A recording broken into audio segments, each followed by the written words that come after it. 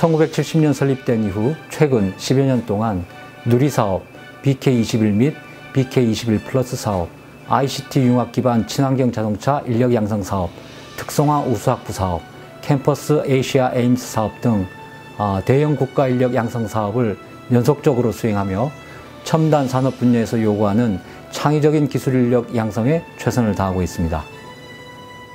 로봇은 21세기 가장 대표적인 어, 융합 학문입니다. 그리고 21세기 발전 가능성이 아주 높죠.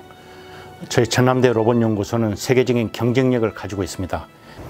우리 실험실에서는 세상에서 가장 가볍고 튼튼한 재료를 개발하고 있습니다. 이러한 재료는 첨단 산업 분야, 즉 모기 크기의 드론이라 우주 항공, 친환경 자동차 등에 활용될 수 있습니다. 자동차 특성화 학부로서 자동차와 관련된 다양한 정부 사업과 관련된 연구가 진행되고 있습니다.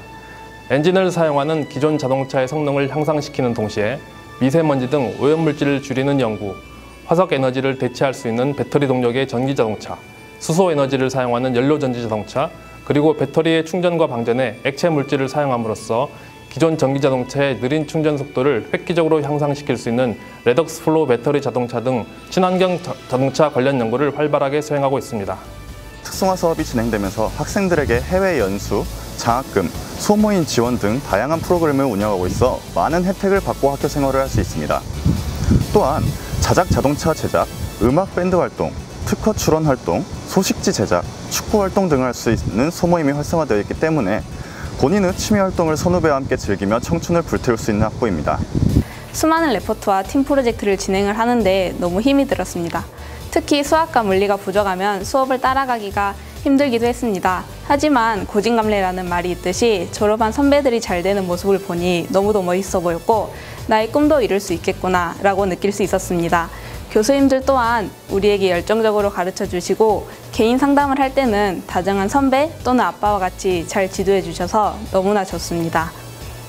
학부 스터디룸에는 팀 프로젝트를 진행하느라 항상 사람들이 가득 차 있습니다. 그렇다고 항상 공부만 하지는 않습니다. 학부 내에는 다양한 소모임이 활발하게 운영되고 있어 본인이 하고 싶은 활동도 할 수 있고 1년 동안 학부 축제, 체육대회, 현장견학 등 다양한 행사도 진행되어 즐겁게 놀기도 합니다. 이러한 교육과정을 이수한 졸업생은 자동차, 로봇, 나노기술, 반도체 분야를 비롯 전자, 중공업, 조선, 건설 등 사회 전반적인 산업체에 취업할 수 있어 매년 70% 이상의 취업률을 유지하고 있습니다. 취업자의 99%가 정규직으로 근무하며 취업자의 약 85% 이상이 대기업 및 공기업에 종사하여 우수한 취업의 질을 나타내고 있습니다. 기업체 취업 이외에도 대학원에 진학하여 보다 깊은 학문, 학문을 탐구한 후 미래 기술 개발을 위해 대학이나 연구소에서 근무할 수 있으며 기술고시 등을 통해 공직생활을 할 수 있거나 변리사로서 활동할 수도 있습니다. 또한 현 입학생은 졸업과 동시에 공학교육 인증서를 받게 되므로 취업은 물론 해외 진출 시 국제적인 학력 인정을 부여받게 됩니다.